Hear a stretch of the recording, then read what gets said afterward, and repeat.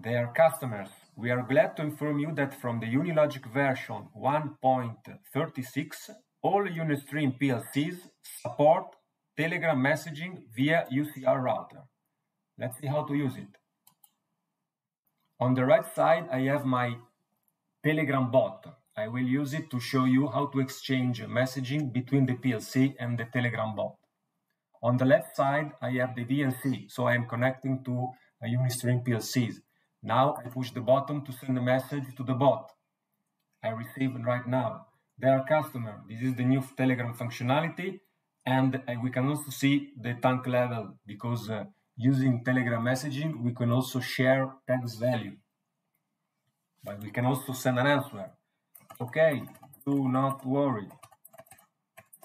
We'll assist you in a couple of minutes. Best regard. From the VNC, I can check the incoming message.